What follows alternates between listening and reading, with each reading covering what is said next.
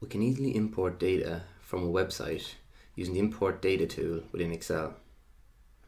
If we look at an example, here I am on macrotrends.net and I want to import this data here, Ireland historical debt rate data, and I want that quickly input into a spreadsheet.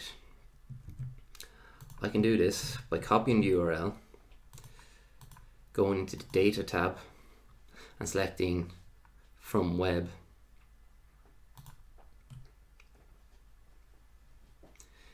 This will then open a wizard here that will we then can copy in the URL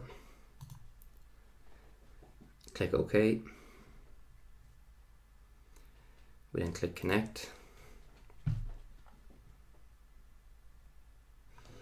here it'll connect to the website we've copied in. And then it will present you with this this screen here whereby you can see a preview of the table that you want brought in.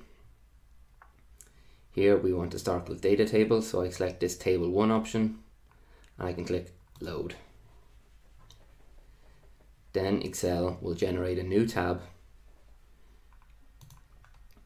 and our data will automatically come in here straight from the website.